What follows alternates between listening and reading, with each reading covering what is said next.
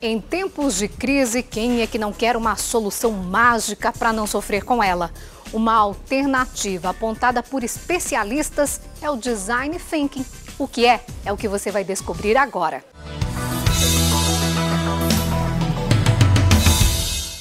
Dois estudantes de engenharia elétrica e mais um colega da área e uma ideia: criar uma empresa de automação residencial.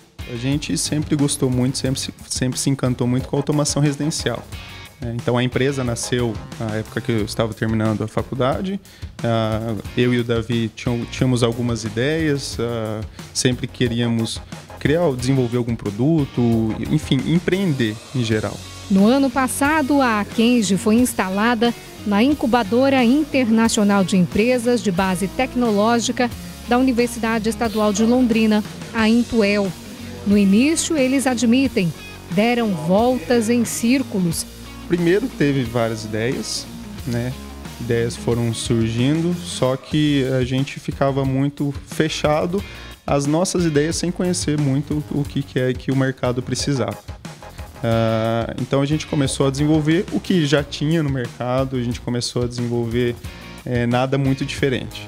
E aí passamos a pesquisar um pouco mais, a consultar pessoas que se interessam pela automação também. Aí surgiu a ideia do interruptor através uh, dessa imersão, desse conhecimento do que é que o mercado precisava. E aí, sem saber, começaram a aplicar ferramentas para o desenvolvimento. Fui tomar um café ali e encontrei um professor de designer. E aí, conversando, né, trocando uma ideia informal, uh, comecei a falar da empresa e comentando do jeito que a gente estava agindo, que a gente estava procurando os usuários, que a gente estava... Ele falou, ele virou para mim e falou, Heitor, isso aí é design thinking, né? E aí eu conheci o termo e aí ele me enviou alguns materiais, comecei a ler e me inteirar um pouco do assunto. Com mais conhecimento, eles passaram a aplicar de verdade os conceitos do design thinking e perceberam os resultados. Acelerou. Acelerou porque a gente estava perdendo tempo com, com, com algo que era desnecessário. Depois a gente viu que uh, algumas coisas seriam mais importantes para o usuário e a gente focou nessas, nesses itens. Com os pés no chão, a ideia do grupo é primeiro entrar no mercado. Por isso, estão desenvolvendo um produto de cada vez.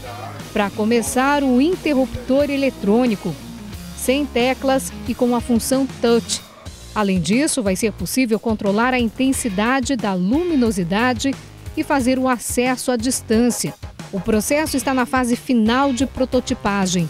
Logo, logo começam os testes. A gente já tem uma carta de pessoas interessadas no produto. A gente vai enviar e aí vai, vai testar e vai ter um feedback para poder ir melhorando esse produto continuamente. E aí jogar no mercado, talvez no começo de 2016. E é só o primeiro passo? A ideia deles é criar uma casa inteligente e independente a casa vai conseguir reconhecer alguns padrões. Se ele chega às 6 horas e faz tal, tal coisa, então a casa vai propor para o usuário. Deseja então que a cada vez que você chegar nesse horário tal coisa seja executada.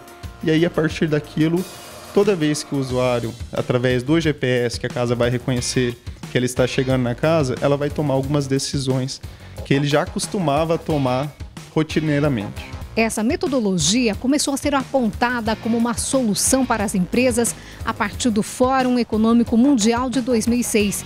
Desde então, ela vem ganhando força, sendo usada como uma estratégia para afastar os efeitos da crise e não só esperar ela passar. Como o nome já diz, Design Thinking é o pensamento de design.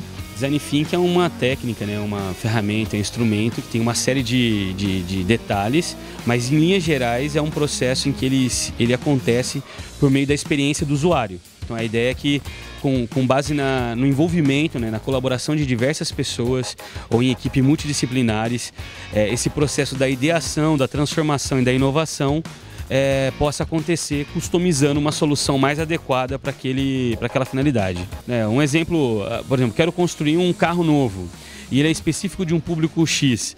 É, se eu não envolver, eu posso fazer esse veículo sem envolver o usuário final dele ou o potencial usuário final e até mesmo o fornecedor de materiais, de equipamentos daquele veículo. Mas se eu fizer essa interação, a chance que eu tenho de customizar um veículo muito mais apropriado para aquele determinado público é muito maior. Então acho que essa é uma característica muito forte nessas técnicas ligadas a design thinking. E nessa nova perspectiva, o consultor do Sebrae, responsável pelo setor de tecnologia da informação e startups, diz que o trabalho vai além dos números, planilhas e pesquisas a parte de pesquisas, números, tem toda uma importância, uma relevância para as análises que acontecem em termos de mercado, de inovação. O, o design thinking, é, por exemplo, se a gente for fazer uma, uma, uma correlação com a, o processo de Lean Startup, já é uma coisa que eu acredito mais dinâmica, no sentido de você colocar direto aquela necessidade para ser validada e experimentada pelo usuário. Daí se falar numa mudança cultural. Às vezes não é você simplesmente ter acesso ao conteúdo, ao instrumento e, e sensibilizar algumas empresas do negócio com isso. Na realidade, a grande mudança que eu vejo que está por trás disso é quando a organização se incorpora dessa, dessa transformação e isso, quando se enraiza na cultura daquela empresa, a chance que essa empresa tem de se colocar no mercado de forma mais competitiva é muito maior. É a transformação do negócio. Algo que eu vejo assim muito pertinente a momentos em que a reinvenção ela se torna fundamental. Então eu acredito sim que a busca por conteúdo, por conceitos, por consultoria, por aplicações é, que envolvam esse tipo de, tecno de tecnologia, vamos dizer assim, é muito pertinente, é uma grande oportunidade na realidade. E no design thinking, algumas palavras são essenciais. Existe esse processo de fomentar a colaboração o processo de fomentar com que as pessoas tenham condição de, de trocar essa experiência, de trocar essa vivência enquanto usuário e poder propor algo inovador, algo melhor. Nesse novo velho modo de pensar no universo corporativo, o consumidor final é o foco principal. Parece óbvio, mas não é o que acontece na prática a ênfase principal é quem é que vai beber dessa solução que você está trazendo. Se é o cliente, é o consumidor final, ele é o cara que tem que estar no pódio disso, né? Ele tem que estar olhando para ele porque todo o show que vai ser feito é para que ele possa usar disso para melhoria, para o benefício, para o conforto, para o resultado dele. Então, com certeza, é, é, essa pessoa é a pessoa chave.